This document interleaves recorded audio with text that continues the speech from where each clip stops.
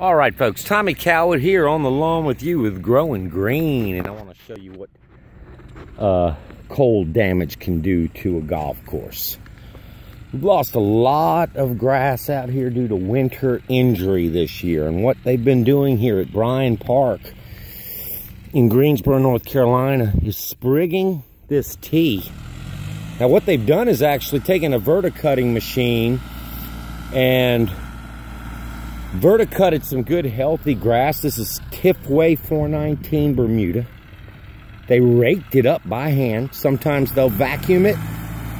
They spread it out by hand all over this dead tee.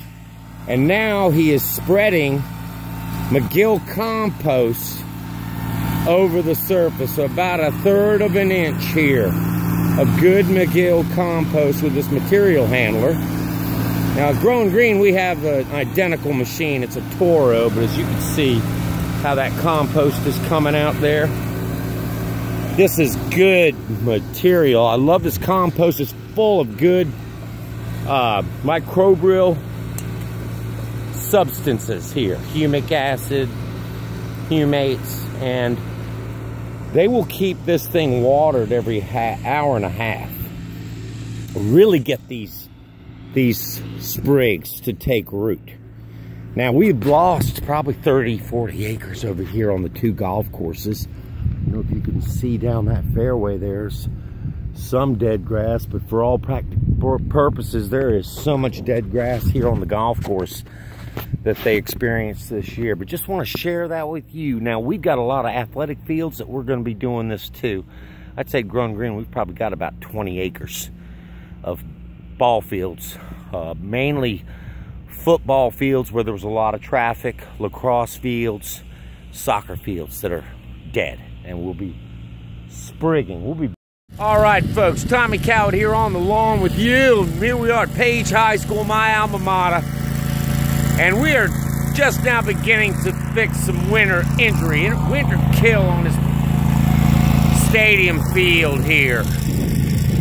Uh, what happened was uh, we had a cold night. They're kind of like pointing at March 29th. The turf began to wake up, and we had a killer frost freeze.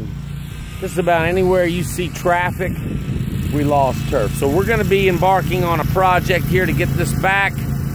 It's going to consist of sodding this field. Right now, Rodney's poking some holes with an aerator We'll be fertilizing heavily. We'll be putting down some compost. And then we'll be sodding this with Tifway 419. So bear with us, folks. We got a lot of work to do, and we're to document the whole thing. Here comes our irrigation technician as well to get everything ready.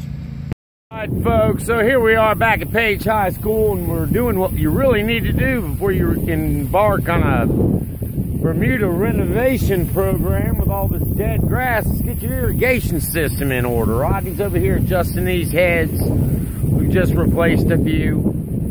And we'll get everything ready to go. We need water. Water's going to be the key. All right, folks. Be back and keep going with this project before I get sprayed. Blowing out the line. See him down there?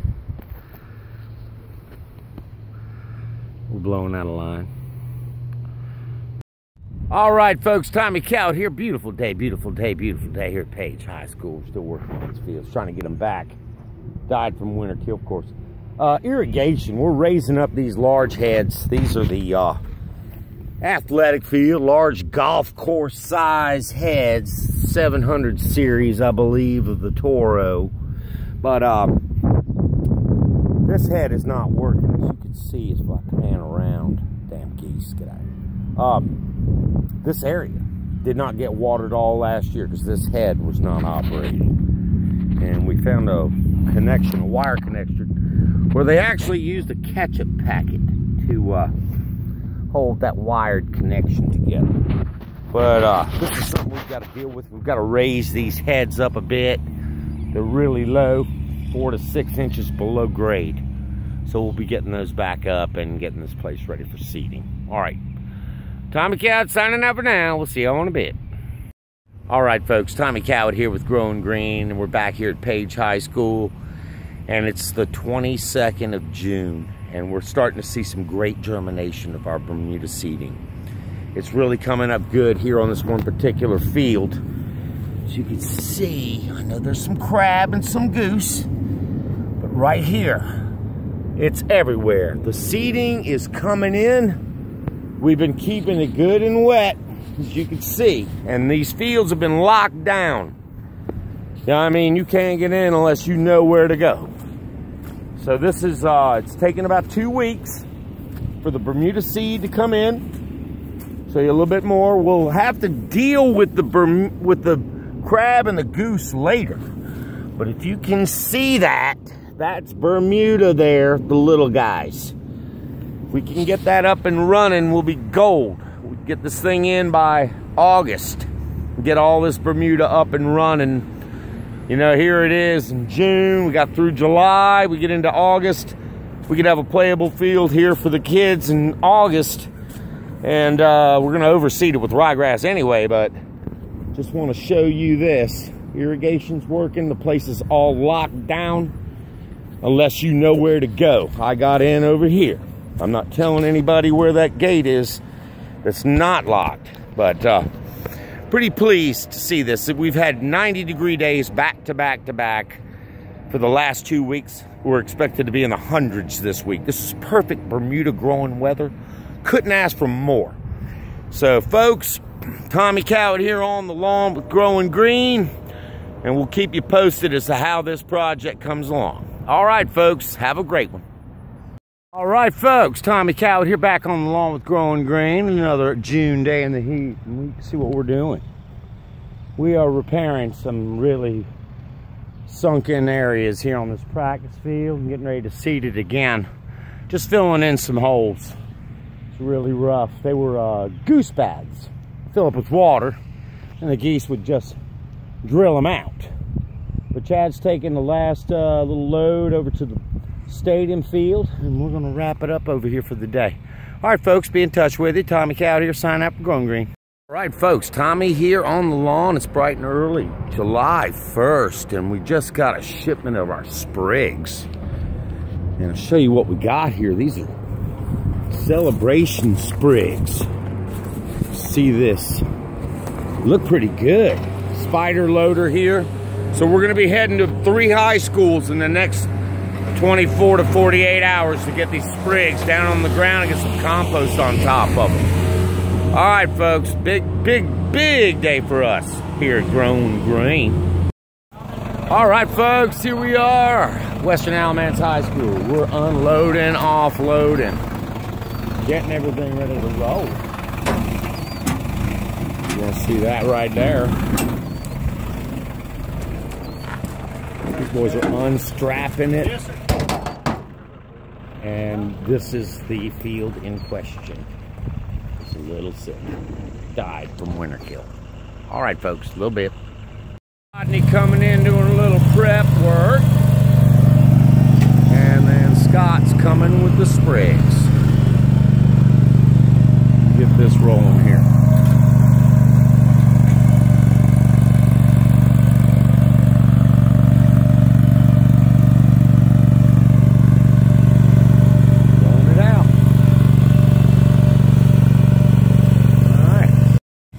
Prepping it out. Scott's running that first product down. Turf Commander, Chad. That looks good, Scott. Getting it prepped up. That looks great, and it's rolling it flat.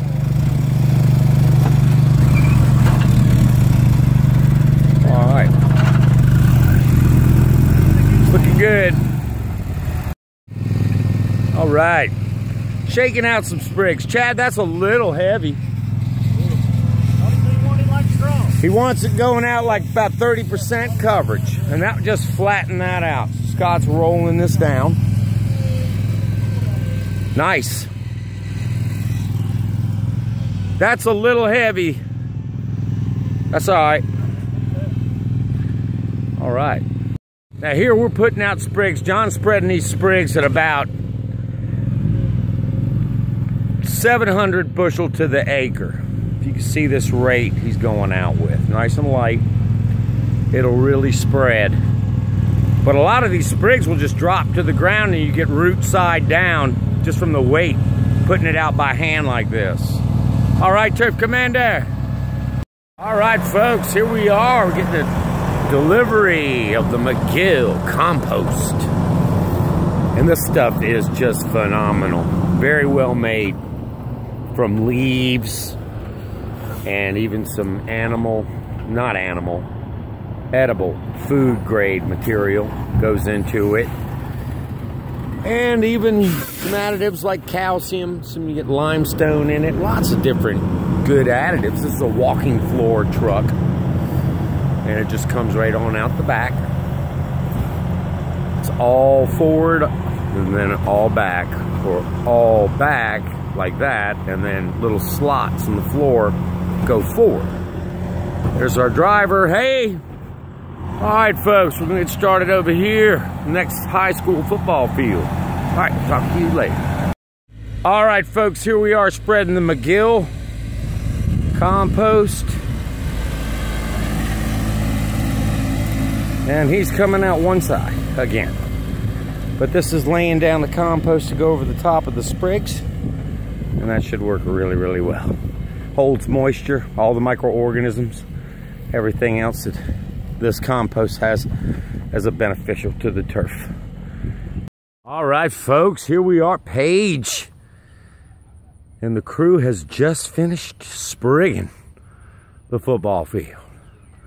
Try to get a little close up of the guys down here. Box of sprigs. It's all been prepped out. Came in with a verticutter. Really worked up the soil real well. This is on a grow in program. Here it is, July 2nd. And getting ready to spread the compost on the top. All right, folks, bear with us. He'll be rolling it next.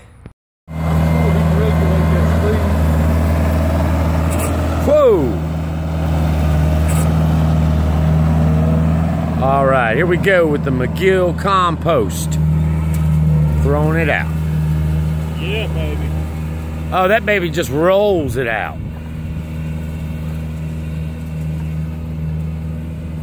Smells pretty good.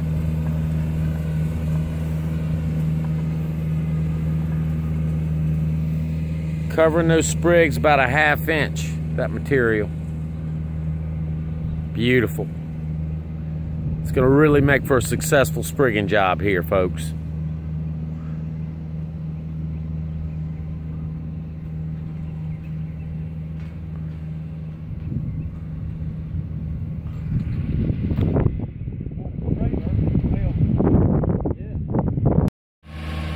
All right, Scott is spreading the McGill.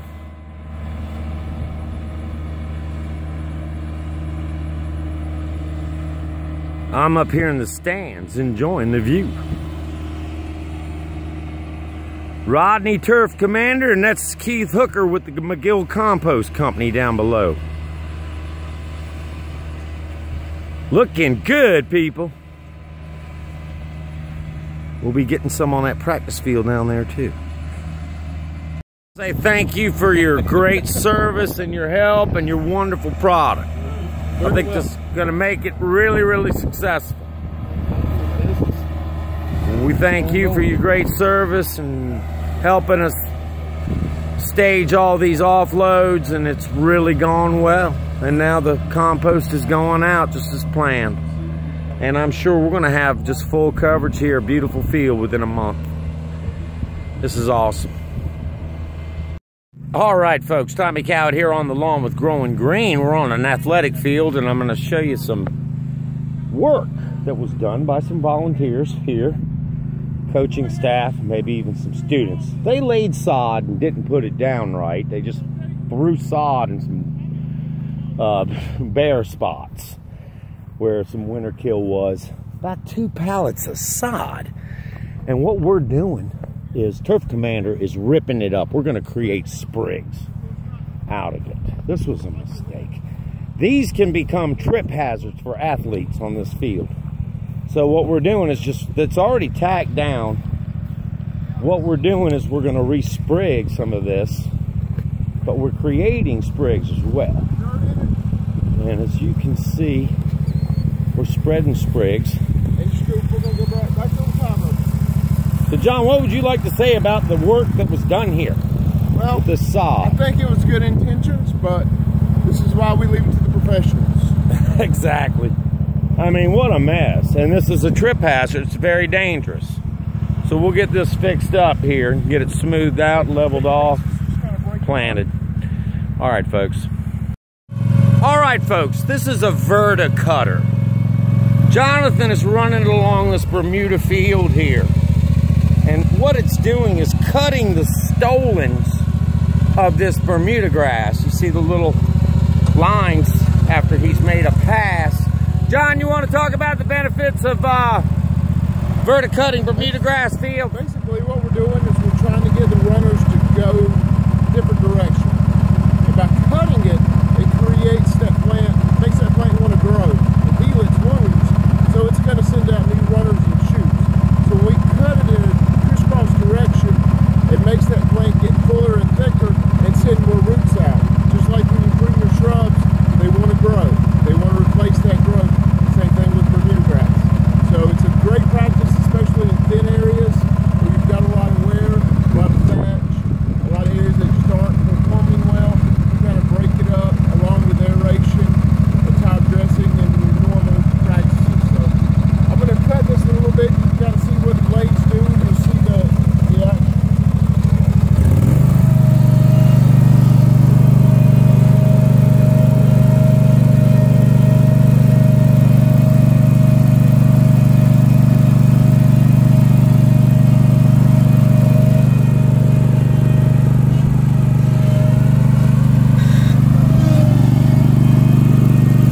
Hey, do you want to talk about how you were able to make sprigs?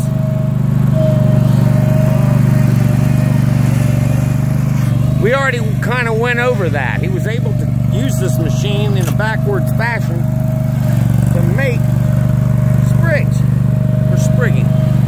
And we used them in these areas here. So one other benefit of doing this is we, if we need sprigs for small areas, we can put this machine a little deeper and make our own sprigs. So I'm going to demonstrate that right now by taking the tines down a little bit, pulling it backwards, and you'll see the sprigs that we produce. These can be laid in fresh dirt, watered, they'll turn into new plants.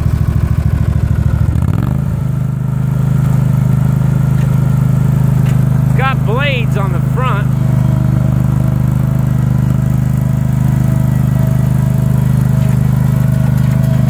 You can see there's sprigs coming up.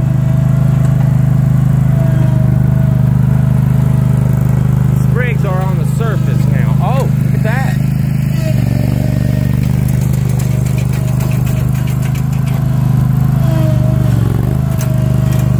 That's nice. Fresh sprigs. So now what we can do, screen Bermuda plants. Awesome. So great way to keep your lawn in shape, keep your athletic field in shape through the summer. Give us a call at 1-866 Lawn Help or check us out at growinggreen.com. All right.